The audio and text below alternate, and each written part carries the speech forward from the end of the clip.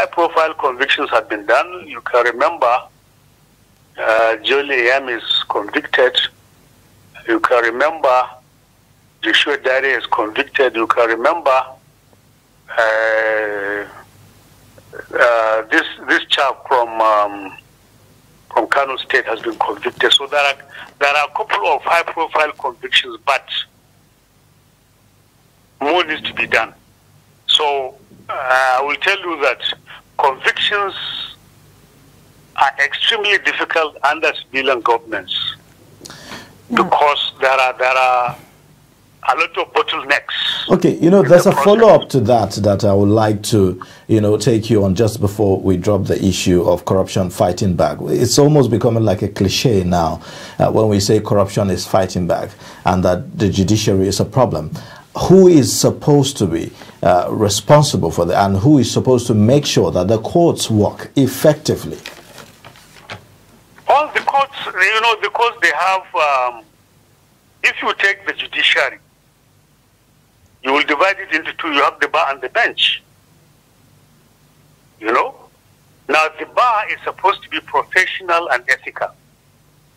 In other words, the training you got from law school should tell you that this is how you should walk while in the field.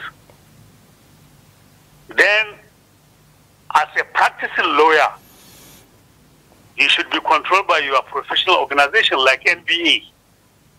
But unfortunately, in the case of Nigeria, it is individuals that control the Nigeria Bar Association, not the Bar Association controlling its members. Lawyers are too powerful in Nigeria, so they muddle up even their own organizations.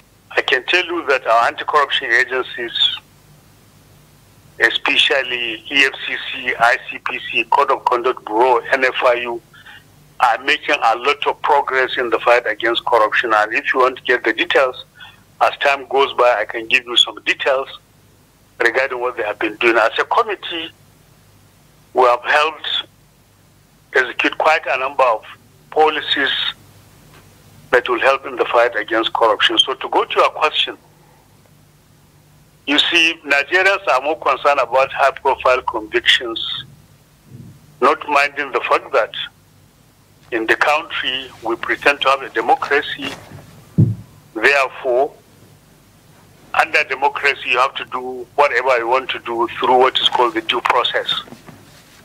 Due process will require you going to the courts, courts are part of the problem, will require you getting the understanding of lawyers. Lawyers are a big problem. The high profile individuals have a lot of money and they are fighting the system. So is corruption fighting back? Yes.